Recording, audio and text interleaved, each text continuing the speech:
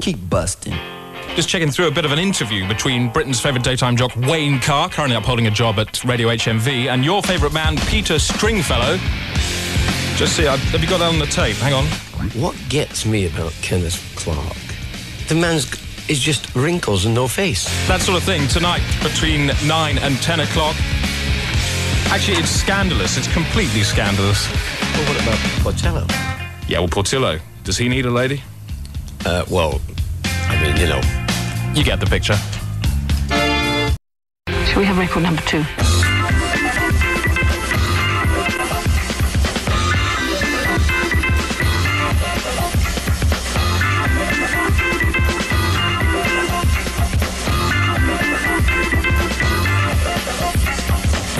Right, in tonight's gibbering wreck, cheerful toss from friend of 1FM, Peter Stringfellow. We hope he'll be your chum by the end of the night, too. There's the cow quiz. The prize for that is a driving lesson with John Peel.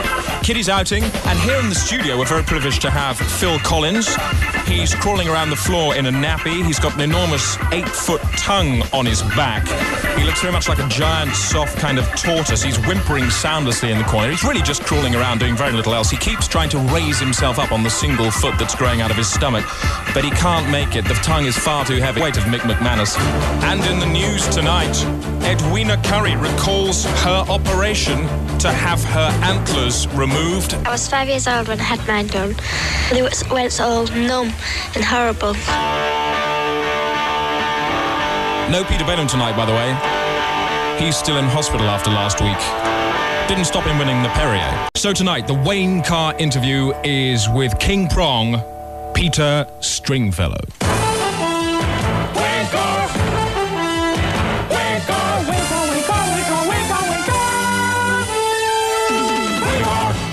Peter Stringfellow, welcome. uh, my pleasure. My Hi pleasure. there. Now, um, Stringfellow's the name. Was it simply the name? Well, you mean, uh, was I born with it? Yes. No, no, the, the clubs. We're talking about a man whose uh, name is synonymous with uh, fun and uh, clubbing. Uh-huh. Stringfellow's the name of the club. Was it simply the name? Uh, you mean simply the name that made the success? Okay, well, listen, I guess we'll come back to that if you're having difficulty. Question two What about the name Stringfellow? Shares 60% of the letters of the word nightclub. Is that why you named your club Stringfellows? Okay, no, let me explain that. When I first started in 1960, number one, Stringfellow didn't have any glamour in those days. Apart Some- from having written uh, Hiawatha. Yeah. Well, okay. And the different range of people you attract, a huge range of people, don't you? I do that deliberately. Yeah, from Because- Sloane's, you got the Jet Set, uh, Yeah. rock stars, the Plunties, the Siders, the Riders, and the Hex. They're all there. Yeah, I mean, Why? you know, it, my, my door is very wide. If you make the effort and you look good, you can come in because basically we're all of one type, you know. And, and I find it not, nothing more boring in a nightclub than when it gets very narrow. If you, I personally wouldn't be comfortable uh, In a narrow in, club? in a narrow club. Because where- you're a wide kind of person yourself. yeah, I think so. You know, All right, so say I am a typical 90s person, right? Say I'm a Plunty or a Cider. I come in. Do you say Plunties over there, Ciders over there, Hex over here, Jet Set over there? Or can no, you- but very, very quickly, everybody knows where to stand in their own patch. but you see a Plunty come into the club. He's looking a little bit down. Would you actually go up to him? Yes, I do that. What would you say to a Plunty who came in? I just say, hey, nice to have you in. Welcome to the club. Let me get you a drink. Once they're in the club, I'll look after it. What are those um, sequin heck hats? That would be okay.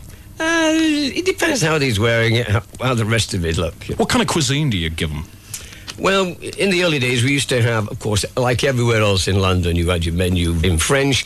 You had your menu in. Oh, yeah. Do you like uh, violin players?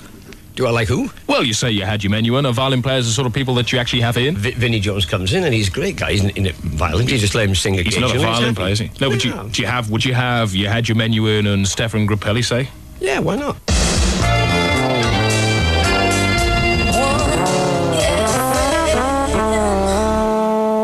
Music.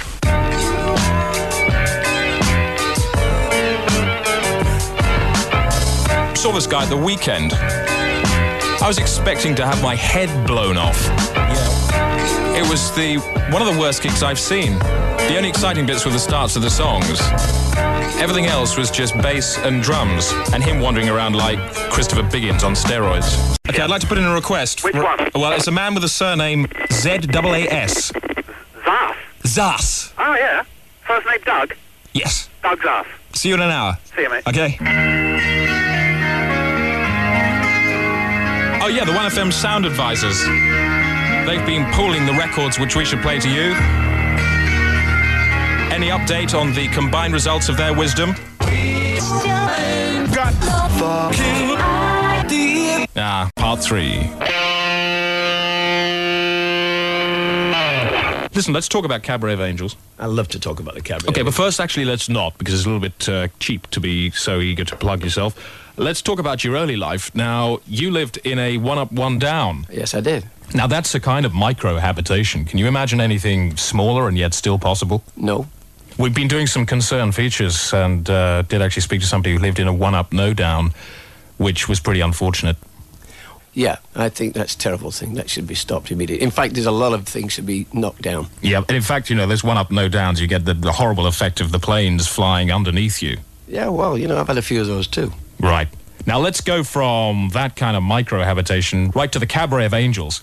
And before we get into that, may I say that it is great that someone actually had the guts to come out and put a ban on the, you know, the fat chicks, because uh, you get a lot of grief for that, and I can't see why. It got like this, you see. What it Yeah. was is that I was saying that there's a percentage of very fat people who, when they go out at night, don't make an effort. They've given up. And I was saying, if you've given up, please don't come to Stringfellows. If you go to a whole club crowded out with arse women, then it's uh, you, you wish they'd keep their fat features at home, really. Well, you see, that's where the hypocrisy came in. You know, everyone was, go- I mean, everyone was saying, "Oh, this is terrible," and I said, "Okay." What do you think? What do you think about this wonderful word, which I hate, called politically correct? Oh dear. I refuse PC. to be politically. I say be impolitically incorrect. Okay, I'll go for that one too. Yeah, it's the ugly ones that are the problem, I guess. You should read some of the mail. What they've called me, man. Wow. Yeah. Is it because they don't actually fit with the image of uh, the, the high profile people, the Plunties, the Siders, all the rest of them in there? Is it because they don't actually fit with those kind of people? Look, I save a lot of people from having a miserable night by refusing them entrance. In other words, they can come in and feel really out of it. Out of it in the bad you know. sense. So we're not Yeah. talking MDA. We're talking No, no, I'm in the wrong feeling place. down. Oh yeah. Oh my God, you know. You feel right down your leg and you find even your calves are fat. Yeah, Yeah. yeah. You know it's like. What about someone like Madonna? Say she wanted to come and she'd grown a little blubber sack around the coccyx. Would you let her in? Of course, are you crazy? I'm a, you know, any celebrity and a star is a star. The public doesn't look at a star and think anything except here is a star. I think Madonna is fantastic. Isn't That's she great? gets- I think she's incredible. She just, I mean, what she does for women. And she, she that. has the sense to shape up. I mean, she goes jogging, she makes her body nice, and she's a real hard body. And she gives herself over to her business. She lives Wouldn't it life. be disgraceful if she allowed herself to go to seed and became like some piece of baobab tree so wide you Isn't it couldn't get rather round sad it? we're talking to all age brackets here with Brigitte Bardot, who was the Oh. absolute sexiest thing on two legs and in now the 60s. what a bloater. Oh, so sad, isn't it? Seriously. If I was it, she should have. She should have topped herself. Sure. Well, that's why I don't want to be a lady.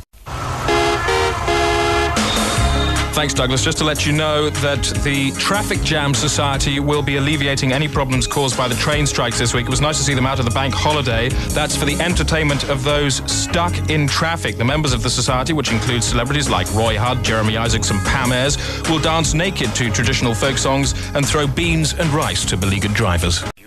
You could take Coke. I mean, just imagine a Coke, a 100 metre Coke race. You'd have, uh, they'd all be on the start. The starter would um, put his gun up in the air, and then someone would say, Hey, who says you're in charge? Kitty's outing.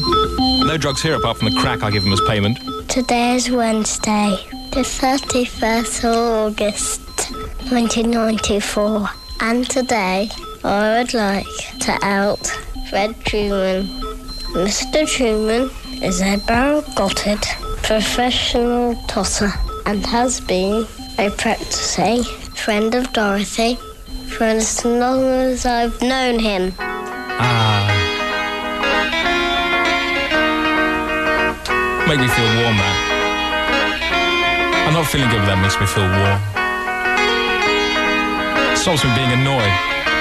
I got annoyed this week with macho lizard owners. You know those sad people who go around with a massive, great big lizard on a lead just to show they're macho? I hate those people. They're big lizards.